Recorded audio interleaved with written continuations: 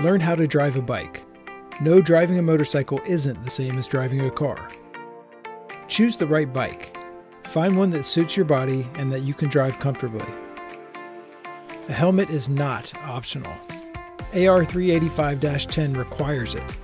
Not wearing a helmet increases by 40% the possibility of dying in a crash, even in small accidents. Use appropriate gear. Remember, AGATT. All the gear, all the time. Drive defensively. If you drive a motorcycle, you should be alert to vehicles around you and try to anticipate any risky situation. Keep a safe distance from the cars around you. Don't tailgate. You'll need enough space to maneuver and react. When possible, avoid wet roads. Bad weather is a big enemy for bike riders. Make it a habit to use your lights. Use them properly to alert other drivers about your next maneuver. Don't skip maintenance.